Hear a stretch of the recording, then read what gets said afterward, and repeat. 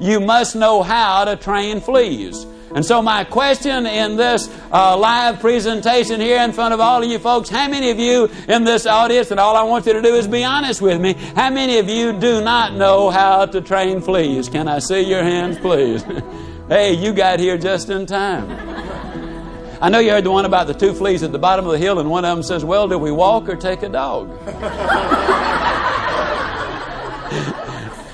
but anyhow, you. Uh, You train fleas by putting them in a jar. And you put the top on the jar and you watch those fleas and they'll jump up and they'll hit the top over and over and over and over and over and over. You watch them jump. And finally, after they've been jumping a long time, you will notice that even though they continue to jump, all of a sudden they are no longer jumping high enough to hit the top. Then it's an absolute fact. You can just take the top off of the jar and they'll keep on jumping and jumping and jumping and jumping, but they cannot, I repeat, cannot jump out. You see, they have conditioned themselves to jump just so high. And once they've conditioned themselves to jump just so high, that's all there is. There ain't no more. Man is the same way.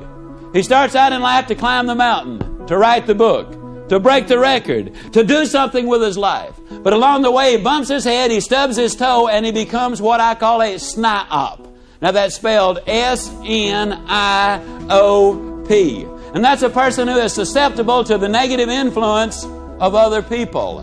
The life of Zig Ziglar is a powerful reminder that with faith, determination, and a positive attitude, you can achieve your greatness.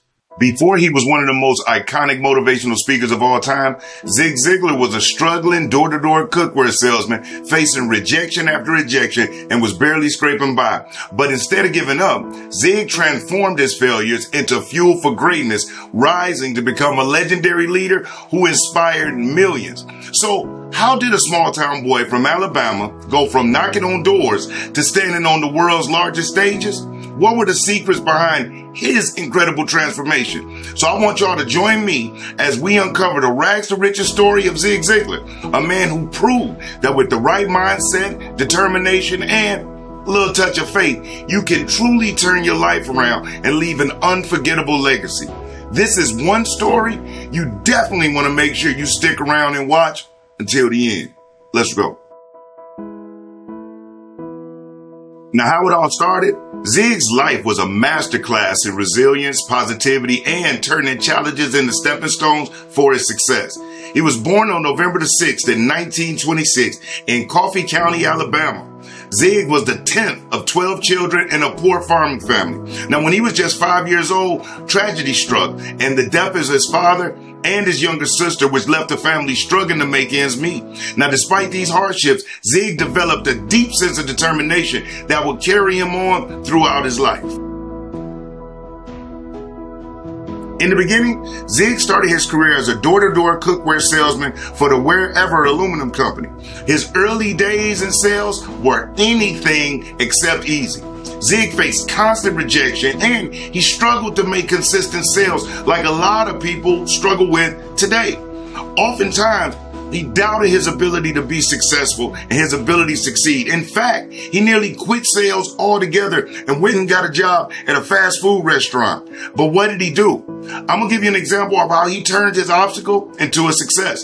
A pivotal moment came when Zig's mentor, P.C. Merrell, he encouraged him to believe in himself and to develop his craft.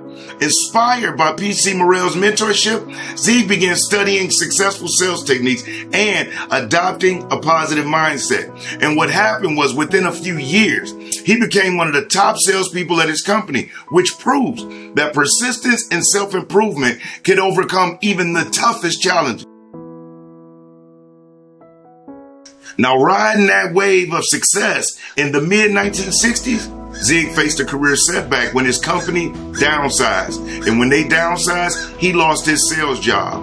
At a crossroads, Zig could have given up or returned to the safety of a typical nine to five job. But instead, he decided to follow his passion for teaching and inspiring others through sales.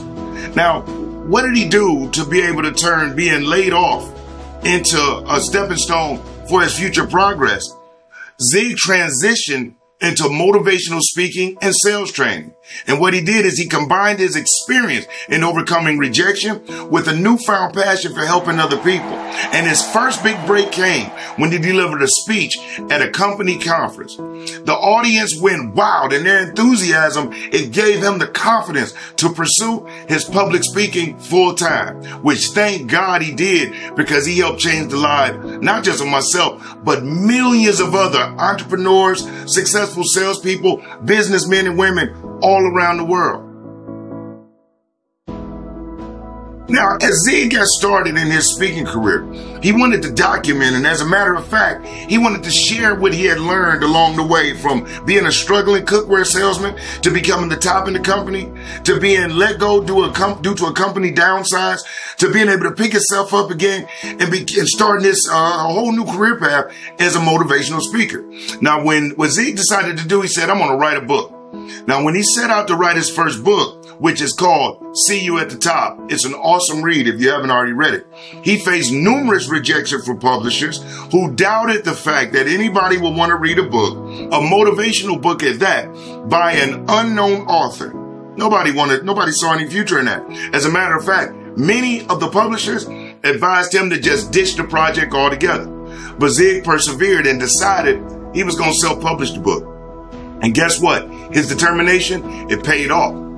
See You at the Top became a bestseller. And to date, it sold millions of copies nationwide. And what that book did is solidified Zig Ziglar's reputation as a thought leader in personal development and it opened doors to even greater opportunities. After putting out See You at the Top and solidifying his reputation as one of the best motivational speakers and also one of the best sales coaches, although known for his dynamic stage presence, Zig initially struggled with stage fright in the beginning. He had self-doubt, all of those things that come into all of our minds during his earlier speaking engagements. Speaking in front of a large audience was, was very terrifying for Zig, but he knew he had the information. He knew he had the skill set. He just had to overcome the fear monster. You know what fear stands for, right? False evidence appearing real. That's what fear is. Anything you fear hasn't happened. Think about it. You're fearing it. It's a future thing. So it's false evidence appearing real. The reason why it's false evidence is not real. And the fact that we have the ability or the power and the impact to be able to redirect and change that, the reason why it's called the present moment is because it is a gift. Because within this moment is everything you need to be able to take yourself to another level. You have got to know that. You have got to know that. As a matter of fact, if you find yourself struggling at your dealership to convert customers, if you find yourself struggling with that fear, if you find that self doubt, creeps into your mind if you're looking at other people and you're wondering, how come it's them and not you? I was there once. So have been tons of others. You're hearing the story of Zig now. I invite you, I encourage you to go to sellingforsuccess.org. It's my sales training platform and I have complete courses, audios and videos that are done just for you. The fact that you're watching this video right now is not by mistake. You didn't find this by chance. There's something you're supposed to gain.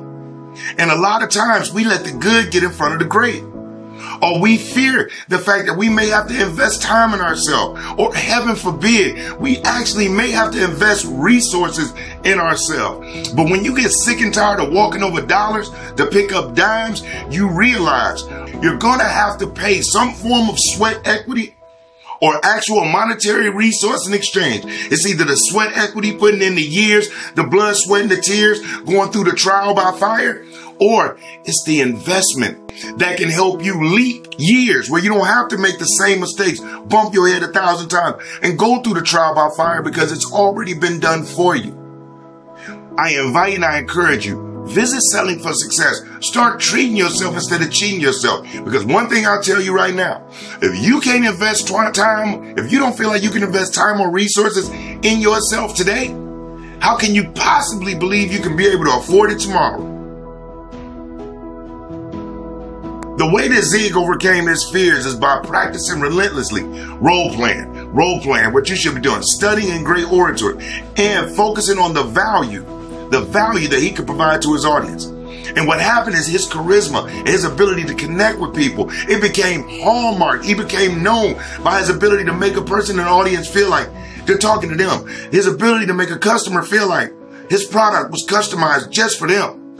And by the 1980s, Zig was delivering up to 200 speeches a year to major international corporations, global organizations around the world. Now, later in life, Zig faced the loss his beloved wife, Jean, and it devastated him as it would in, in any of us. These personal tragedies, they tested Zig's faith and his resilience, but it also deepened his sense of purpose.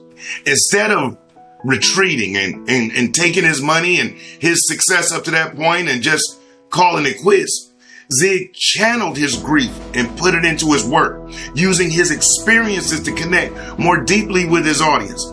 He spoke about the importance of faith, family, perseverance, and continued inspiring other people to find strength in their own challenge. At the time when Zig entered the motivational speaking circuit, the concept of sales training was very underdeveloped. Not too many people or companies were doing it. Many salespeople relied on instinct rather than structured strategies, leading to what we know now know to be inconsistent results. And that's where you're just winging it and going off the gut, but you don't know what's working. You don't know what's not working. So you just keep throwing these things in a big pot like gumbo, hoping that it comes out with a successful sale on the other end. And what Zig did, he took that, he structured it, and he gave salespeople a way to go from zero to the leader of the sales board. Zig developed a comprehensive system of motivational sales training that combined practical techniques with mindset coaching. His programs, including The Secrets of Closing the Sale, revolutionized the sales industry and became essential for professionals worldwide. You see, one thing I want you to take away from Zig is that Zig Ziglar turned every obstacle he faced into an opportunity for growth, proving that success isn't about avoiding difficulty, but it is about rising above. The life of Zig Ziglar is a powerful reminder that with faith, determination, and a positive attitude, you can achieve your greatness. I remember my beginnings and then I thought about the young Brian or that young lady that wants to do better for their family. They want to achieve greater things. They just don't know how to get there. They just don't know. And like Zig Ziglar, that inspired me to take what I had learned, my trials, my failures, my successes, the things I learned along the way from excellent and phenomenal sales trainer courses on communication, asking questions, executing myself in the dealership day after day after day consistently. And I took it and then I created my course, How to Dominate at the Dealership. And everything took off. And then I started Sales Professionals of America Recruiting, the staffing and sales training agency in the automotive industry that works with major dealer groups nationwide. And now, you know, I feel like one of the most fortunate, blessed men in the world. But you know why? It's because that man, Zig Ziglar, decided that he wasn't going to quit. Because if he would have quit, guess what? It's millions of us, millions of us, who knows what would have happened. So whose life could be potentially waiting on you to make an impact? Where if you give up, they'll miss their mark.